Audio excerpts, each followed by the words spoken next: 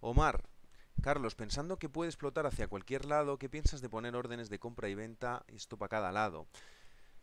Lo puedes hacer, lo puedes hacer, pero tienes que estar atento a quitar la, eh, la orden contraria para que no se te activen las dos órdenes, ¿vale? En MetaTrader no está por defecto, pero estoy seguro que tienes algún plugin o alguna cosa para poder hacer unas órdenes tipo OCO. Lo que tú quieres hacer es una OCO. Una cualidad que aplicas a dos órdenes. Quiere decir, son las siglas de One Cancel Order, ¿vale? Es decir, si yo pongo dos eh, órdenes, una aquí de buy stop y un sell stop aquí, después las seleccionas y las das la cualidad de OCO a las dos, obviamente, las pones en modo OCO. Es decir, cuando el precio, suponte que rompe hacia arriba, la orden de abajo te la cancela, te la quita, ¿vale? Cuando se activa una, te cancela la otra. Esto no viene por defecto en el MetaTrader, pero estoy seguro que podéis buscar... Eh, estoy seguro que podéis buscar algún tipo de plugin o de, historia, ¿no? Bueno, eh, lo que decía Daniel, el Nasdaq quiere cerrar el gap sea como sea. Bueno, la verdad es que ya lo ha cerrado, ¿verdad? Vamos a volver a, a verlo aquí, un momento. Gustaría saber por qué no me llega el gráfico. Me gustaría saberlo. ¿Dónde está? ¿Por qué no llega?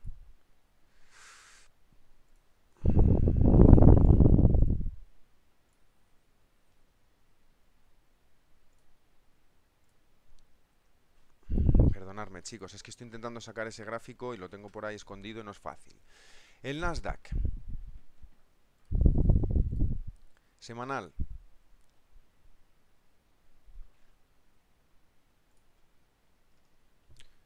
$9.400, el máximo es el 9.757. Está igual, vale. Fijaros, esto es el Nasdaq, ¿vale? Esto es el índice tecnológico de Estados Unidos y claro, como tiene mucha, mucha, mucha fuerza, por las cinco empresas que voy a comentar luego también, entre otras, ¿no? Ya sabéis cuáles son, muchas de ellas, ¿vale? Facebook, Amazon, Apple, eh, Google y Microsoft. Esas son las cinco empresas eh, están soportando la economía americana en realidad.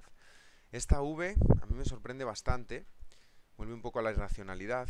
Es verdad que el índice tecnológico, que las tecnológicas no han sufrido tanto, como otros sectores, estamos todos en casa metidos, usando redes sociales, usando Google, usando... Y bueno, pues tienden, seguro que han tenido incluso más negocio, más, más anuncios, más, de acuerdo, más tráfico en la red y eso hace que, bueno, pues fijaros también cómo está, la, cómo está el índice tecnológico, ¿no? Es de locos. El máximo histórico es el 9753.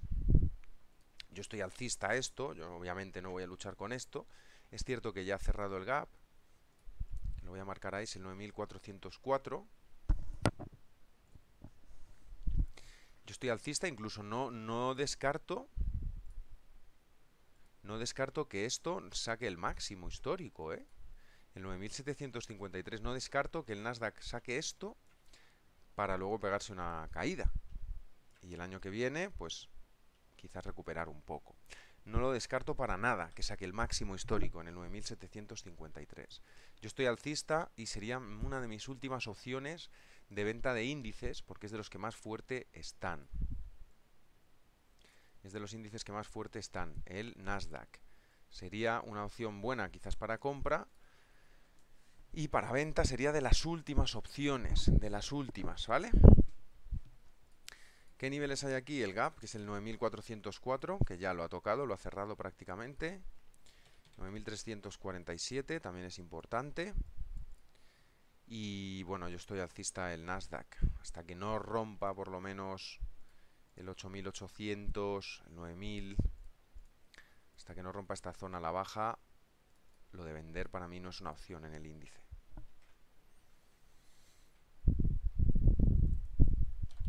¿Vale? Estaría alcista el Nasdaq, ¿eh? Fijaros como el resto de índices no ha sacado, de índices americanos, no saca el máximo, pero en Nasdaq sí.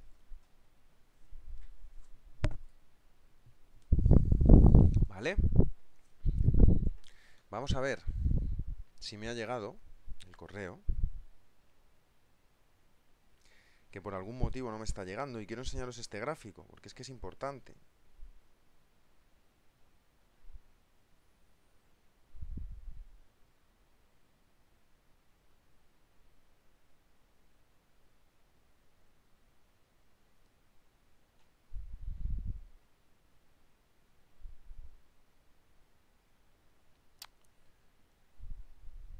¿Por qué no el gráfico?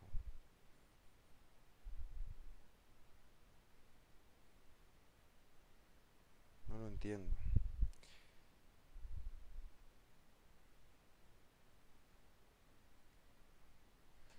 No entiendo por qué no me manda el gráfico aquí. Que me lo estoy mandando, que lo tengo en otra... Lo tengo en el teléfono, ¿vale? Chicos, y estoy intentando mandármelo a mi correo aquí para tenerlo en el, en el ordenador. Pero es que no, no me llega, es muy raro, muy raro. Bueno, el gráfico que os, puedo, que os, que os iba a enseñar, si no os lo puedo buscar también, aunque este se veía muy muy bien, es simplemente que veáis cómo en el SP500, si en el SP500 quitáramos Facebook, Amazon, Apple, Microsoft y Google, estaría ya bastante bajista. Esas cinco empresas son las que hacen que los índices americanos, sobre todo el SP y el Nasdaq, estén tan alcistas. Si eliminamos de la ecuación esas empresas, ¿vale? Las pongo aquí,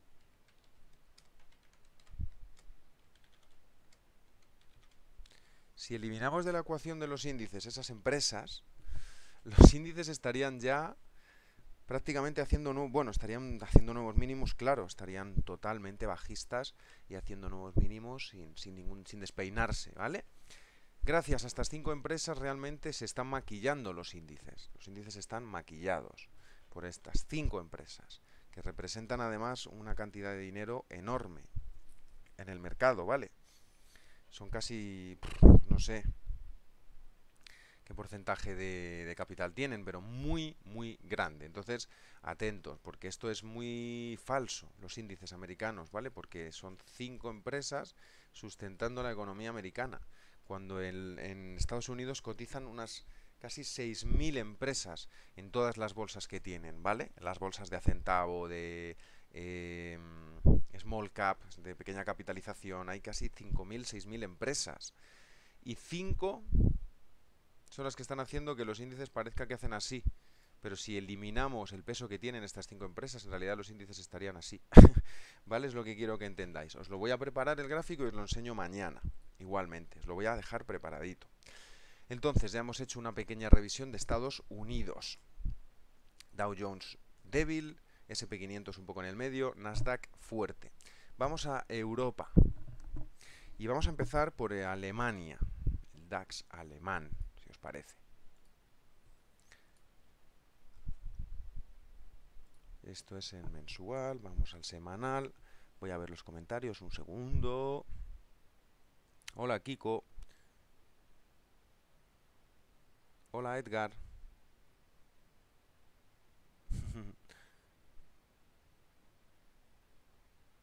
Claro, Omar, eso es importante.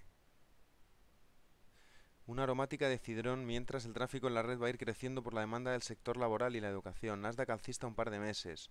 Sí. Sí, ese, ahora pues como todo va a ser todo muy digital, todo va a ser más... Eh, pues esas empresas tienen pinta de que no van a, no solo no van a mm, perder, sino que van a ganar más dinero. Entonces, pues eso hace que, que con la, esta nueva normalidad que nos quieren meter, ese concepto que, bueno, me parece un poco extraño y un poco oscuro, eh, pues ahora va a ser todo digital. Entonces, eh, vamos a ver qué pasa. Vamos a ver qué pasa. Vamos a Europa.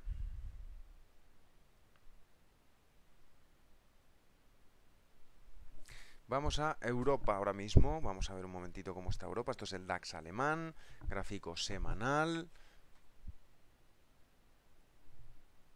¿Cómo se encuentra este instrumento? El DAX lo veo más débil que los índices americanos, claro está. Hay otro gap que también puede querer ir a cerrar en esta zona, en el 11.400, ¿vale? Este gap. Hoy es un día de que quiero mirar bien los índices, es como una revisión, como la revisión que hacemos de los futuros, pero de los índices, ¿vale? El 11.400 eh, pues es una resistencia importante. Vale, ¿quieres que mire el VIX? Sí, por supuesto. El VIX se calcula con la volatilidad de las opciones put-call del SP500. Podemos mirar ahora mismo en un momento, no se tarda nada. Volatility Index, cotiza en Chicago. Vamos a mirarlo antes de pasar a Europa. Esto es eh, mensual. Podemos ver los coletazos de riesgo, porque al final también se percibe como riesgo, los collet tail risks también que aumentan cuando esto sube. Eh, mm, sigue por debajo, ya está debajo del 30, el 32. Esta es una zona importante, que se mantenga por debajo. Esta es como la zona de por encima, uff, está calentito, por debajo ya está más tranquilo. Eh, aunque sigue por encima del 25. Entonces, esto ha hecho así, ¿no? Vamos a ver si ahora rebota un poquito aquí o se baja y se mantiene y se queda aquí en la zona donde ha estado con normalidad los últimos años. Eh, que yo prefiero que haya un poquito de volatilidad, tampoco extrema, pero un poquito de volatilidad sí que es buena. Entonces, ahora mismo tampoco esperéis que haya unos movimientos gigantescos, pero tampoco esperéis que el mercado no se mueva mucho. Sí tiene volatilidad. A partir del 32.40 al alza, aquí Edson, si supera esta zona otra vez, que no es fácil, estaríamos otra vez ante una volatilidad alta. Si cae por debajo del 24, otra vez estaríamos con una volatilidad más normalita. Yo creo que se puede mantener en esta zona y quizás dar algún rebotito más cuando empiece a caer otra vez, a lo mejor esto es la caída ¿no? del SP500 y de los índices. Si vuelve a caer otra vez fuerte, podría ser otra vez que subiera esta zona del VIX por encima del 32, que subiera otra vez a la zona del 50, etcétera. Esto lo podéis analizar igual que cualquier gráfico, aunque tenéis que entender que representa la volatilidad. Un segundo coletazo a esta zona del 48 probablemente sea algo normal. Igual pasó con la crisis de un poco parecido, ¿no? rebotó un poquito aquí, en esta zona, la zona del 32, 36, cuando el precio cayó, hizo un segundo rebote. No muy grande, pero vamos a ver luego otro coletazo también, esto es en el 2009-2008. Vamos a ver qué pasa. Quizás ahora pueda pasar lo mismo, que empiecen a caer los índices otra vez y que el VIX vuelva a subir otra vez. Pero estamos en una zona justo media, volatilidad media, entre el 32-40 y el 24. A ver qué pasa. Eso es como lo veo yo el VIX ahora, Edson. Volatilidad media, no muy alta, tampoco muy baja. ¿Vale? ¿Listo? Vamos a ver el DAX. Estaba haciendo el DAX, que se me ha ido. Aquí. El 11.400 es un gap que, ojo, a ver si es capaz de cerrar. No tiene tanta fuerza como América, está claro. Es un índice muy importante porque es el índice pues, alemán, que tiene mucho peso en Europa, Alemania, creo que es el país con más PIB, ¿no? El primero, Alemania, lo vimos el otro día, de la zona euro. Y yo lo veo bajista, la verdad, francamente. Estoy bajista. Pero claro, no tiene por qué estar listo para caer todavía. Para mí, mientras siga por debajo del 11.586, yo me gusta para ventas el, el DAX alemán, ¿vale? Me gusta para ventas mientras siga por debajo de esa zona. Pero todavía debe de cambiar un poquito la tendencia. No hay que luchar. La tendencia ahora aquí es, es ligeramente alcista en 4 horas, en intradía. Está ligeramente alcista la tendencia en el DAX. Entonces, por eso la confirmación final buena o linda para mí es la del 10.200. Cuando esto, atraviese el 10.200 a la baja, entonces sí que ya confirmaría para mí el posible cambio de tendencia, ¿no? Aquí ya no puede hacer un nuevo máximo, este es el origen, puede caer ahí. Eh, está interesante, ¿vale? Estaros atentos con el DAX alemán. Una roturita de esta zona para luego caer con fuerza. Todo eso son ideas que me gustan de venta para el DAX. De momento voy a estar paciente y voy a estar con calma porque ha tenido algo de fuerza. Y bueno, en intradía, pues cada día, cada sesión habrá que gestionarla día a día. Aquí obviamente pues si empieza ya a caer el 10.700 ya es una buena señal de que puede atacar el siguiente soporte. Y yo espero una caída de Alemania otra vez, la verdad. Para mí este rebote es bastante falso. Espero otra caída, la verdad, porque economía ha sufrido bastante. Vamos a ver qué pasa. Obviamente si atraviesa esta zona de arriba aquí al alza, pues no voy a luchar con el precio. Voy a seguir buscando ventas, compras, perdón. Si rompe y rebota ahí, estaría buscando compras. Esto es el DAX alemán. Atentos. Está bonito, está interesante. Se pueden intentar ventas en resistencia, con un stop pequeño, que no es mala idea siempre. Pero claro, de momento ahora la serie en intradía pues está a 4 horas y demás, está un poquito alcista. Vamos en contra de ese movimiento que hay en intradía un poquito alcista. Voy a mirar el Eurostox un momento.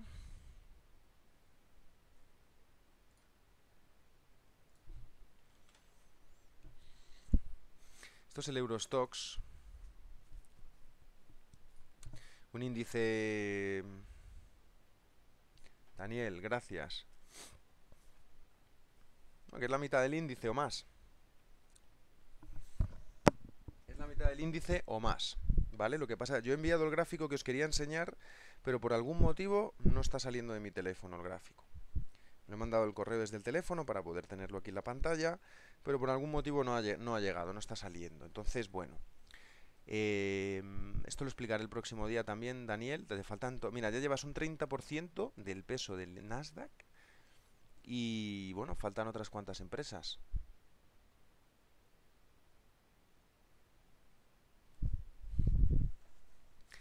Si sumas todas las empresas, el peso que tienen en la economía estadounidense, pues es prácticamente las que están sustentando eh, esos índices y la economía.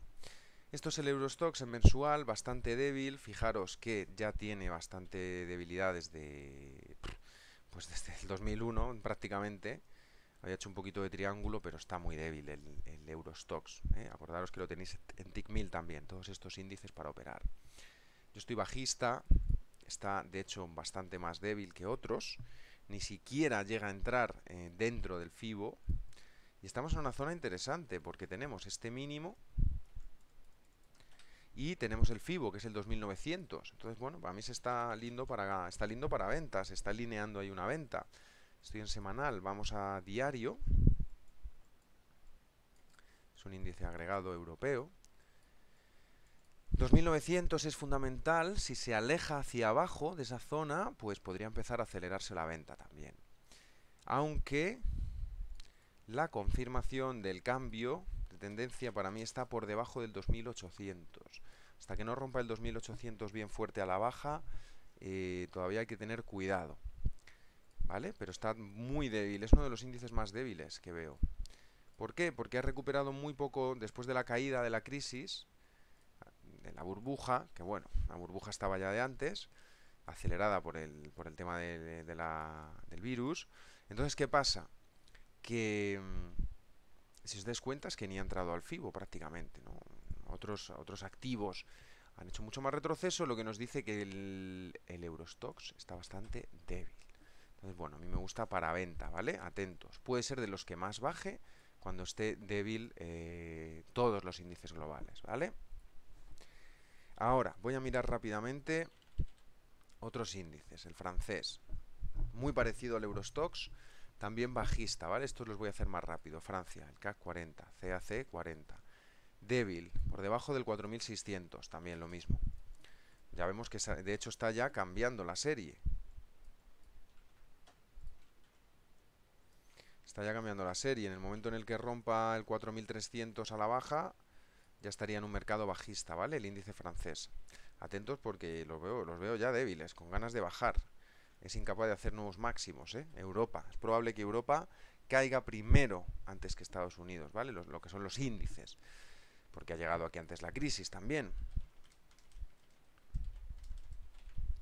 Vamos a ver Italia. Uf, prácticamente plano. Esto es lo, que debería ser normal, ¿no? Esto es la realidad un poco, ¿no? lo que pienso que también podría pasar. Obviamente Estados Unidos ha estado muy líder económicamente mucho tiempo, ¿no? Pero esto es mucho más realista. Esto, esto sí que refleja mucho más la realidad. Esto es Italia, obviamente ha sido golpeada fuertemente. Una bajada, un retroceso de lo que se lo que llaman el dead bones eh, cat, ¿no? El, rebote del gato muerto, ¿verdad? Ha rebotado, pero el gato está ya, ya muerto, que se dice, ¿no? Es una expresión un poco extraña, pero es ese rebote de no es que el gato esté vivo, es que está rebotando algo que ya... ¿Vale? Eh, pues esto es lo mismo, ¿no? No llega ni a tocar el 382 de toda la bajada. Ni lo toca. Eso ya me indica la... cómo se encuentra, ¿no? Esto. Entonces yo estoy bajista Italia. Lo tenéis en TIC1000, por supuesto, ¿vale? Este índice, todos estos índices los tenéis en TIC1000. Y bueno, pues estoy bajista, está muy limpio también para venta. ¿eh? No hay que obcecarse, hay que buscar los índices buenos, que están más lindos para venta. Si Estados Unidos no quiere caer, pues buscar otros índices, ¿no? De hecho, ya está prácticamente bajista la tendencia, ya está cambiando. Si el precio se mantiene por debajo del 17.000, si rompe el 17.000 a la baja, yo ya tendría técnicamente hablando un mercado bajista ya porque ya estaría haciendo aquí una serie de máximos y mínimos descendentes. Si rompe el 17.000 a la baja, atentos a ese nivel, ¿vale? En el índice italiano. 17. Me gusta para venta este índice. Podemos mirar a España también. El IBEX.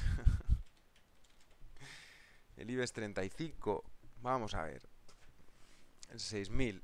Se reía de mí el periodista un poco, bueno, de sorprendido, ¿no? Cuando me preguntó en noviembre y le dije que sí, que el 6000 pues, era algo muy normal. Antes del virus y antes de nada. No es que yo tenga una bola de cristal ni nada, pero tenía buena pinta. Desde luego. Todos los datos apuntaban a, que iba a continuar bajista, ¿no? Bueno, pues estamos en una zona como en el 2003. España está retrocediendo más de 10 años cuanto a la, capitalización y la valoración de sus empresas. Eh, esos índices tienen gaps porque son, he ido directamente al índice que cotiza y el índice pues tiene una hora de cotizar. Abre a una hora y cierra a otra hora. Tiene unas horas de cotización. Por eso hay gaps.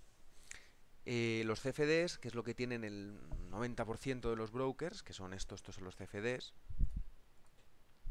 También tiene gaps aquí, pero, bueno, no sé si tiene horario aquí el, Italia. A ver, un momento. Tienen una hora también de 9 a 11. Y por eso puede haber algún gap ahí en el, en el momento de, del cierre, ¿vale? Porque la diferencia es es importante cuando el precio abre en un sitio diferente, Joan, cuando abre otra vez el mercado, pues te genera ese gap. Fíjate, ¿qué es lo que os quería explicar antes, Daniel? Claro, son 100 empresas y con Alphabet, que es Google, tienen el 46% del índice solo 6 empresas. ¿Vale? Estábamos hablando del Nasdaq. Si tú le quitas esas 6 eh, empresas, si tú le quitas a esto, esas 6 empresas, esto estaría así. ¿Vale? Eso es muy importante que lo entendáis. Que seis empresas tengan la mitad del peso del índice nos hace una idea, ¿no? Ya. España, bajista, muy limpio también. Bueno, no muy limpio, pero está débil. ¿Qué pasa? Que ha caído bastante. También hay que, es interesante pillar retrocesos, ¿no? Algo que está muy abajo, sí, está muy débil, pero también mm, la continuación puede ser más complicada. Bueno, mientras siga por debajo del 6.700, yo estoy bajista el IBEX 35. El índice español, 5.266. Es el siguiente soporte fuerte. Bueno, hay otro aquí entre medias, el 5.900. Vamos a semanal un momento. Que lo estaba viendo mensual. Esto es semanal, el índice español, 5.900. Está muy interesante, a mí me gusta para ventas, ya está bajista, vamos a diario. Es verdad que está un poco sucio y la volatilidad no ha sido muy grande ahora, estos días, ha disminuido, pero yo estoy bajista. Todavía no ha cambiado la serie, pero está a puntito de cambiar. 6600, ese nivel es importantísimo. Está un poco sucio, sí que bien es cierto, quizá para intradía pues son índices que no recomiendo operar en intradía, no bajar de 4 horas, ¿vale? Diario 4 horas e intentar pues dejar correr aquí un trade tendencial y disfrutar de la bajada lo máximo posible. Yo estoy bajista y bueno, hay varios niveles importantes. El 6578. Si lo rompe y se mantiene por debajo, yo estaría francamente bajista. Aquí en TradingView que yo sepa, no. Tiene que haber alguna manera, seguro, ¿vale? Pero ahora no me voy a poner tampoco a mirarlo ahora demasiado. Tiene que haber alguna manera de prepararlo, que es lo que os quería enseñar, Maui, de hecho. Eso es justo lo que quería enseñaros. Cómo eh, cambia el índice si quitamos algunas empresas. Cinco o seis empresas. Cambia muchísimo. Vamos a ver ahora un momentito Reino Unido. Vamos a mirar el Russell, este es el Russell. Reino Unido, parecido al DAX, un poquito, también bastante bajista.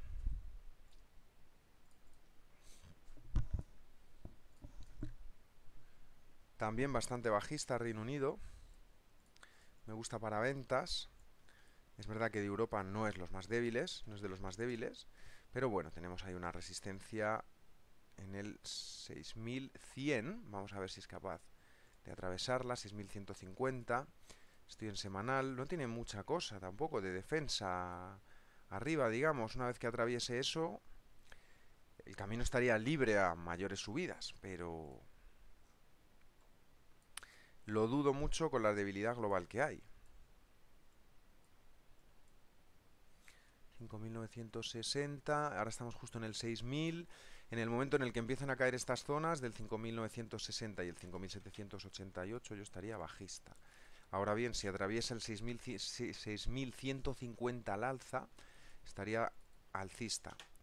Pero la última línea de defensa es el 6.600. ¿Vale? Todavía sigue habiendo bastante resistencia ahí y dudo mucho que lleguemos hasta ahí todavía.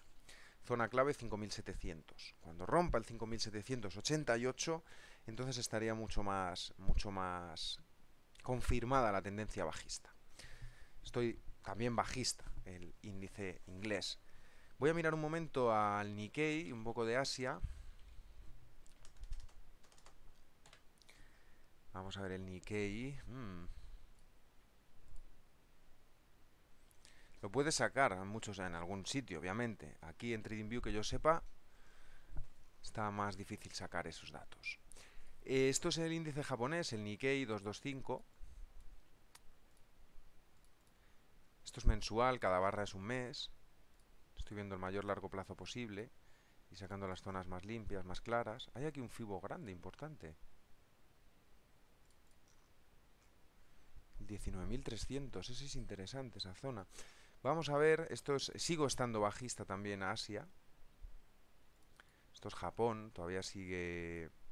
Sobre todo mientras se mantenga por debajo del 21.000, sigue estando bastante débil y me gusta para venta el índice japonés. Es verdad que no es el más débil, están todos muy parecidos, pero me sigue gustando también para venta. Está un poco más sucio, aquí tiene los gaps, podéis verla, no se mueve demasiado. Cuando empiece a romper el 20.000 a la baja, entonces ya sí que estaría bastante más bajista. El 20.000 a la baja, cuando lo rompa esa zona. Me confirmaría mucho más esa mercado bajista, ¿no? Ya cuando empiece a atravesar soportes, uff, puede caer bastante. Vamos a mirar ahora el índice australiano, el ASX. Que ojo, justo Australia no ha sufrido tanto Justo Australia, bueno, la verdad es que este es un índice que lleva casi 100 años sin parar de subir, ¿vale? El índice australiano. 100 años de subida prácticamente ininterrumpida. Incluso después de la crisis del 2008 siguió fuerte, muy fuerte, ¿no? ¿Por qué? Varios motivos. Primero por el oro, primero por el oro, que tiene una correlación muy alta con el australiano, ¿vale? Segundo por China, que está al lado. Por China, está al lado y le da muchísimo comercio, muchísimo turismo, muchísimo negocio a Australia. Tercero, porque es una isla y va un poco más a su rollo, más independiente, no se ve afectada tanto por eh, pues otros países como, como en Europa, ¿no? que estamos todos en el continente y nos afecta todo mucho más. Como el oro ha estado muy fuerte mucho tiempo, Aquí no tengo datos, pero esto lleva subiendo desde 1900, pues, prácticamente. Y tengo que decir que es uno de los índices que veo más fuertes y sería una de mis últimas opciones de venta. Es cierto que hay máximos descendentes, pero para mí es uno de los índices más fuertes que hay y por lo tanto sería una de mis últimas opciones en venta. Es verdad que está bastante sucio, esto es diario, fijaros. Está muy, muy sucio el precio. No termina de salir ni para arriba ni para abajo. Estaría un poquito más neutral este índice, fijaros. Ahora bien, si rompe el 80 esta zona de aquí, esto es el CFD, ¿vale? Me parece. Si rompe esta zona de aquí el 80... Ah, no, es directamente... Sí, es, es el índice, ¿vale? Esta zona de aquí del 80, si la rompe a la baja, podría dar algo de venta. Pero ojo, Australia no es el índice más débil, ¿eh?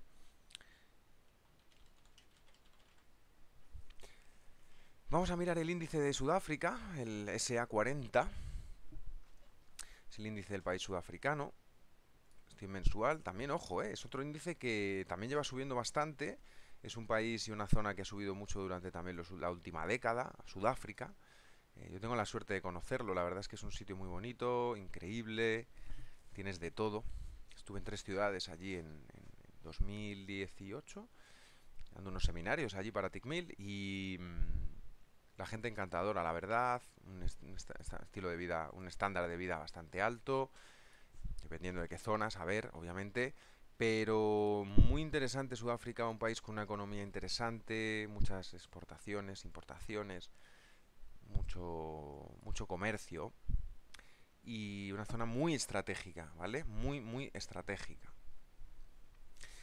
Entonces el índice de Sudáfrica pues está subiendo también bastante sería una de mis últimas opciones para meter una venta, ¿vale? Sería de mis últimas opciones, estoy eliminando.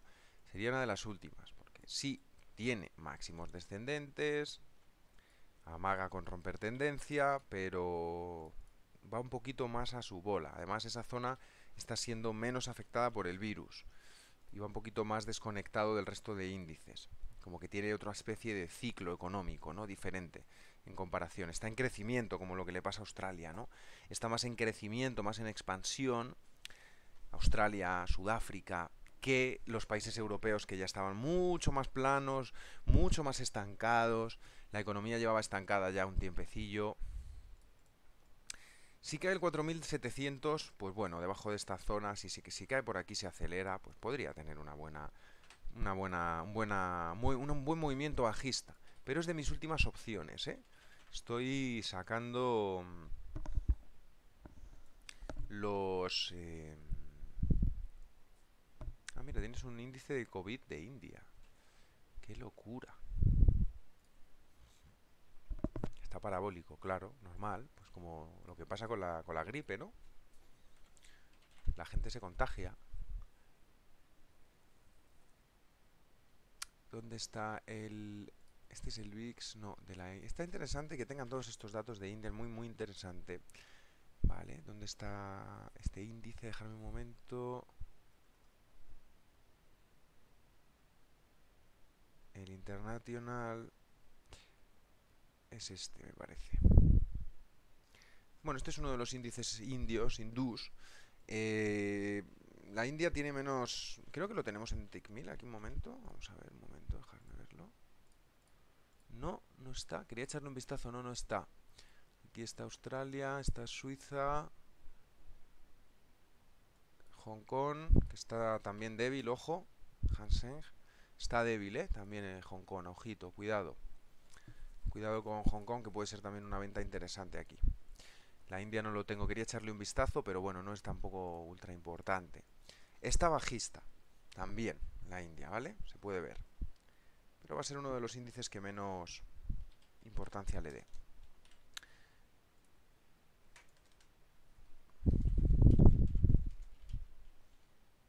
Vamos a ver un momento Hong Kong, el índice de Hong Kong. Hola, Eliazar.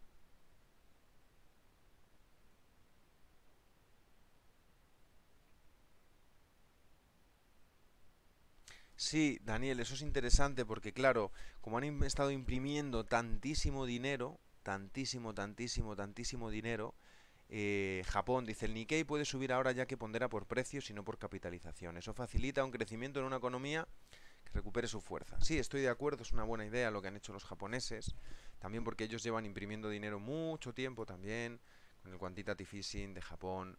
Eh, también porque sufren una deflación desde hace tiempo y un estancamiento con una situación única, una población muy envejecida, muy poca gente joven, eh, no hay tanto trabajo como parece, es caro, hay inflación en algunos en los servicios, eh, pero em, no hay tanto trabajo. Y muchos productos han estado bastante... O sea, la inversión, el gasto, el consumo del japonés de a pie era muy limitado y la economía japonesa pues ha estado imprimiendo mucho, mucho, comprando los famosos J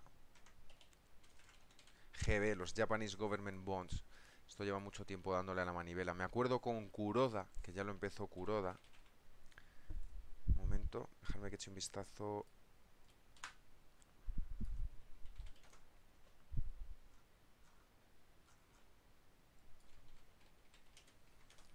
Quiero echar un vistazo un momento. Mm, mm, mm.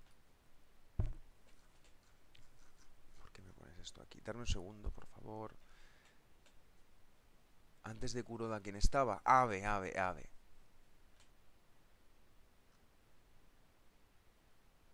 También le, ayudó bastante también eh, eh, eh Ave, Shinzo Ave, le ayuda mucho también a Kuroda. Ha apoyado muchísimo, han apoyado muchísimo. Tienen una gestión bastante buena los japoneses, la verdad, que tienen buena una... Eh, antes estaba este Tadao chino, que se quitó en el 2005. Entonces, bueno, tienen una buena... Más o menos están intentando mantener, eh, Japón está intentando mantener la economía a flote y lo está consiguiendo. Tiene un caso bastante interesante. Os recomiendo que miréis también cuando tengáis tiempo y queráis estudiar, ver un poco la historia de, de quién había a la cabeza del Banco Central, en qué época, qué medidas tomó, si su predecesor o él siguió la medida de lo que había anteriormente, si generó nuevos, nuevos, eh, nuevas medidas, nuevas políticas o no, qué relación tienen con el presidente del país, eso todo es importante, con los bancos, muy importante. Pero bueno, volviendo a los índices, el Hong Kong, a mí me gusta el Hang me gusta para venta también, sobre todo mientras se mantenga por debajo del 25.000. ¿Vale? Ese 25.000 es un número redondo importante y hay que estar atentos, chicos, os diré una cosa. Las bajadas, cuando vienen, os lo digo para que espabiléis y estéis atentos, ¿eh? cuando vienen las bajadas, ¿cómo van las bajadas? ¿Cómo suceden? Así, hace pam, tal cual, muy rápido. Cuando vienen las bajadas, las bajadas son muy rápidas, no te da tiempo ni a mirarlo, ni a verlo. Se te da la vuelta y empieza a caer con una velocidad muy rápida. Entonces tienes que estar atentos y tener más o menos un plan, que es lo que estoy intentando hacer aquí, para que anotéis niveles. Yo tengo los niveles, me los anoto luego tengo todos los niveles anotados, incluso podéis poner alarmas, chicos, usar alertas, alarmas. Es muy interesante. Si no quieres poner una orden, pones una alerta y de esa manera lo podéis hacer en TickMill también, por supuesto. De esa manera os avisará. Y luego tomáis la decisión de entrar o no. Por ejemplo, en el SP500, en diario, en H4, digo, bueno, yo quiero el 2900. Cuando caiga el 2900, me gusta para venta, pero no quiero dejar una orden ahí directamente. Entonces lo que haces es clic derecho aquí operaciones, alerta, ¿lo veis? Marcáis el precio donde queréis poner la alerta. Entonces yo hago 2890 o 2906, clic derecho, operaciones, alerta, pum.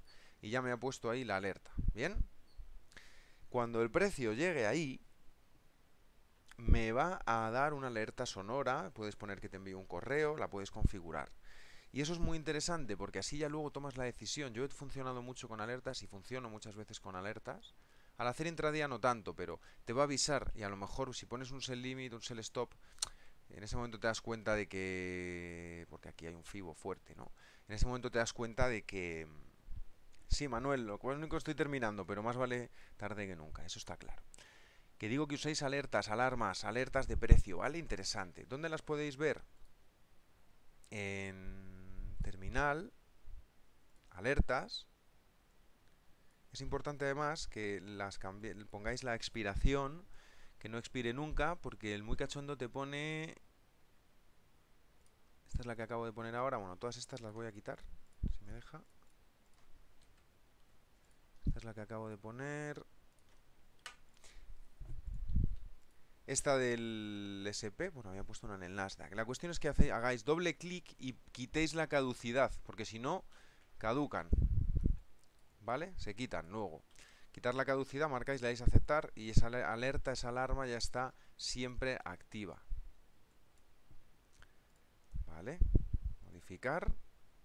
Y estoy quitando la caducidad de la alerta que acabo de poner. SP500 hará un sonido cuando el precio toque el 2905. ¿Hasta cuándo? Siempre. O sea, hasta que yo no quite la, alerta, la alarma de precio, cada vez que el SP500 toque el 2905, pi, pi, pi, me va a avisar. Bien, yo puedo poner aquí correo también, email, puedo poner un email, ¿vale? Y que me llegue un correo. Y esto es muy interesante, muy interesante para eh, no perderos ciertos trades que son muy interesantes como este del SP 2900, por ejemplo, ¿vale?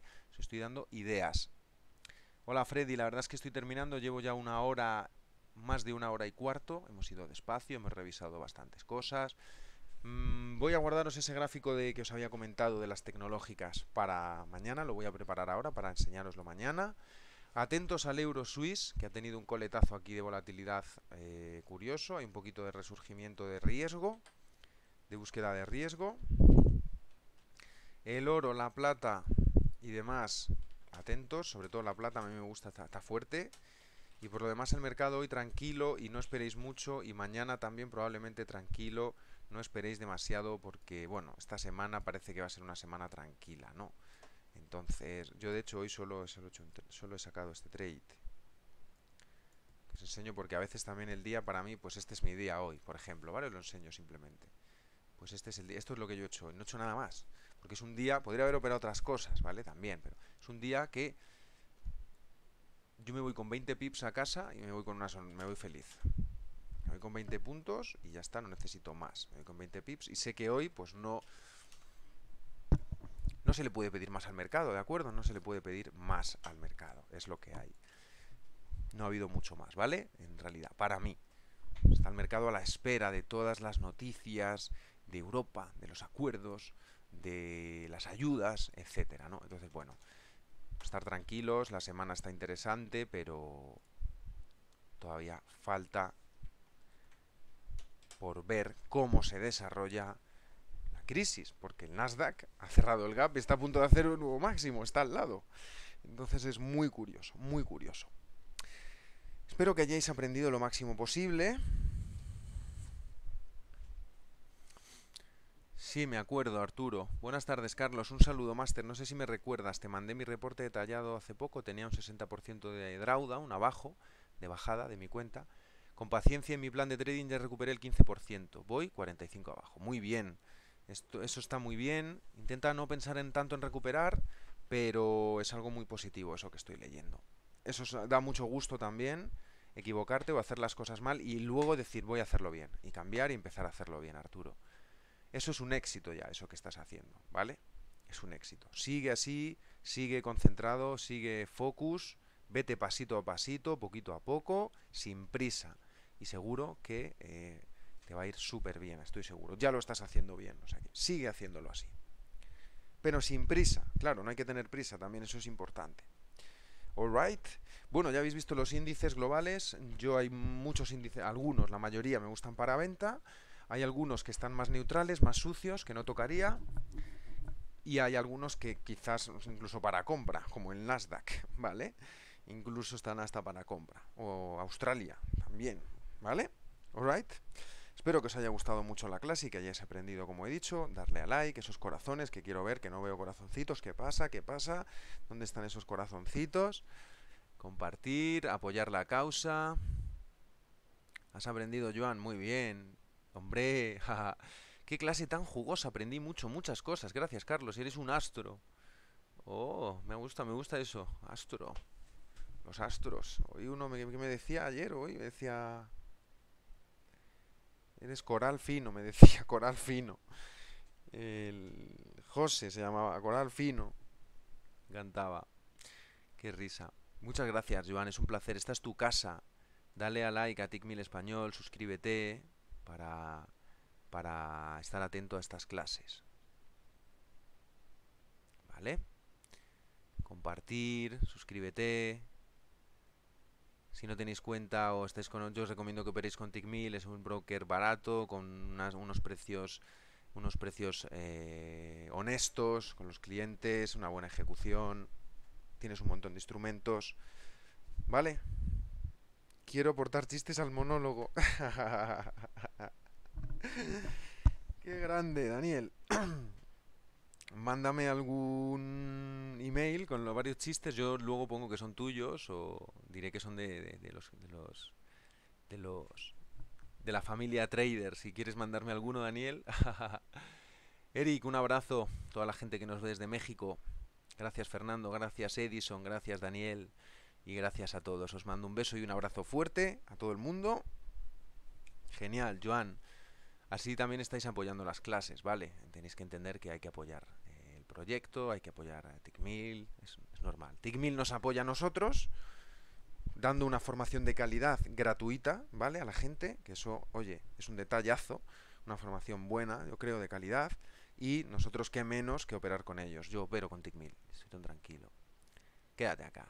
Claro que sí, Joan. Tenemos además un chat eh, en español con un equipo de soporte fantástico. Muchísimas gracias, Manuel. Yo estoy muy contento de poder hacer esto con vosotros y poder disfrutar aquí de estas clases que yo también aprendo mucho con vosotros. Chicos, os dejo tranquilos estudiar, que paséis una maravillosa tarde, un maravilloso día. Nos vemos mañana en Café y Mercados con más contenido, pero no mejor, porque es imposible aquí con la familia Trader, Tito Charlie y por supuesto Tic Hasta mañana, señores. Un abrazo. Tchau, tchau.